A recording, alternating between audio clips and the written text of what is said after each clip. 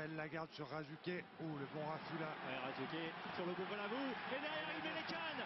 Razuke met les cannes, c'est un sur C'est un 3 contre 1. Ah, il va retrouver ah, il. Ah, bon. Et là, ça sera impossible. Impossible de stopper les, les Parisiens. Mais quel travail alors que c'est Bonneval qui conclut. Quel travail de Razuke au départ. Ah, il s'est fait tout seul. Hein. D'abord, il a bien rattrapé le ballon et on va le revoir ensuite. Euh, il a pris les boulevards extérieurs. Ah, c'est le roi du départ hein, qui fait la différence. Alors on va vérifier, je pense, la dernière passe quand même.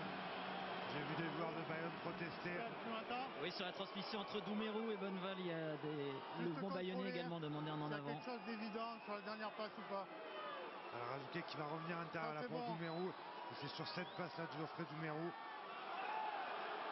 Alors on voit Raphaël Lagarde qui tout de suite euh, regarde en direction de, l'arbitre. Là, il n'y a pas de problème pour moi sur celle-là. La dernière, ici, elle est en avant, je crois. J'ai l'impression qu'elle est un petit peu en avant.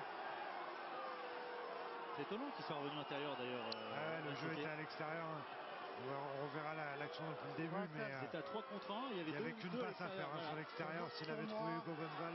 Écoute, pour moi, pleine course, il n'y a pas d'en avant clair et évident. La passe, elle est faite à hauteur, après avec la vitesse. Elle part un peu vers l'avant, mais c'est pas une passe en avant pour moi. Tu es d'accord avec ça ou pas? Okay.